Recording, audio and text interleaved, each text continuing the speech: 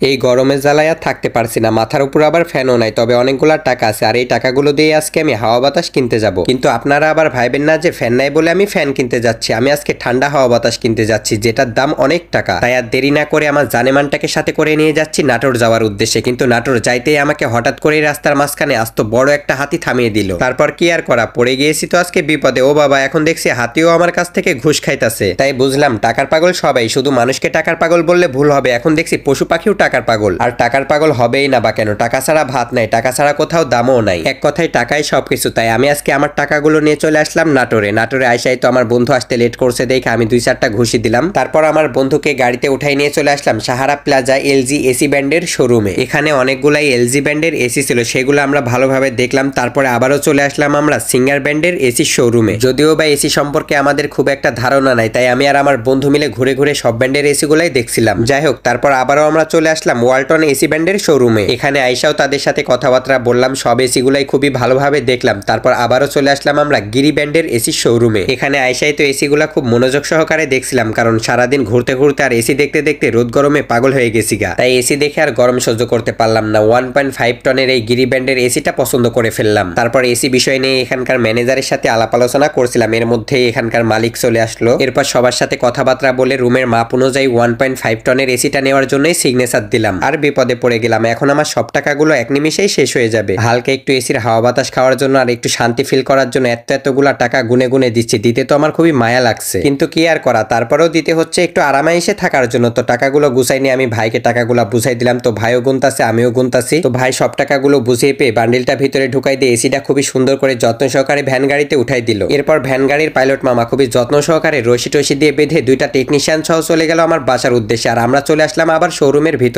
এখানে আইসাই আবার ওয়ারেন্টি পেপারসে দুই তিনটা সিগনেচার দিলাম। তারপর ভাই আমাদেরকে ওয়ারেন্টি পেপারস আর একটা সুন্দর ক্যালেন্ডার বুঝিয়ে দিল। সবকিছু বুঝিয়ে নিয়ে সবার কাছ থেকে বিদায় নিয়ে চলে যাচ্ছি কারণ বাসায় গিয়ে এসিটা লাগাই নিতে হবে। তার আগে এখন আমার গায়ে যে শার্টটি দেখতে পাচ্ছেন এই শার্টটি আমি নেক্সট লেভেল টেন্ডি পেজ থেকে নিয়েছি। আপনারাও চাইলে এই সুন্দর শার্টটি নিতে পারেন। আমার এই ভিডিওটির ডেসক্রিপশনে পেজটি মেনশন করে দিয়েছি। সাথে কমেন্ট বক্সে রুবেল ভাইয়ের ফোন নাম্বারটাও দিয়ে দিয়েছি। সুতরাং কথা বলে বুঝে শুনে অর্ডার করতে পারবেন। ওকে ওকে যাই হোক এরপর জানেমানটাকে সাথে করে নিয়ে চলে আসলাম একটা ইলেকট্রনিক্সের দোকানে। কারণ এসিটা লাগানোর জন্য কয়েক গজ তার লাগবে। সেটাই আর কি নিতে আসলাম। আর সাথে নিলাম একটা সার্কিট ব্রেকার আরও নিলাম সার্কিট ব্রেকারের খুবই সুন্দর একটা বক্স নিয়ে গাট্টি গুলা ব্যাগে ঢুকাই দিয়ে, টাকা দিয়ে হাই পাই দিয়ে বিদায় নিয়ে চলে আসলাম একটা পাপসের দোকানে। এখানে এসে খুবই সুন্দর দেখে একটা পাপস নিলাম। তারপর আবারও চলে আসলাম একটা পর্দার দোকানে। তো আমার জানালার জন্য দুইটা পর্দা লাগবে, তাই জন্য আমি এখান থেকে এই পর্দাটা চয়েস করে এটাই নিয়ে নিলাম। এরপরে সব গাট্টি গুলা ব্যাগের মধ্যে পুরে দিয়ে আমার জানেমানটার পিছনে সুন্দর করে বেঁধে দিলাম। তারপর আমি হেলমেট পরে রেডি হয়ে বন্ধুকে হাই পাই দিয়ে বিদায় দিয়ে বাসার উদ্দেশ্যে রওনা দিলাম। তো সামনে একটু যাইতে দেখি রাস্তার মাঝখানে সবার সাথে দেখা হয়ে গেল। তো বাসায় এসে এসিটা নামাই নিয়ে রুমের মধ্যে নিয়ে চলে আসলাম। তারপর এসিটা খুবই সুন্দর করে আনবক্সিং করে নাটগুলা টাইট করে দিল। এরপর এসিটা দেওয়ালে লাগানোর জন্য ফিতা দিয়ে মাপ দিয়ে সুন্দর করে মার করে ডিল মেশিন দিয়ে ফুটা করতে শুরু করে দিল।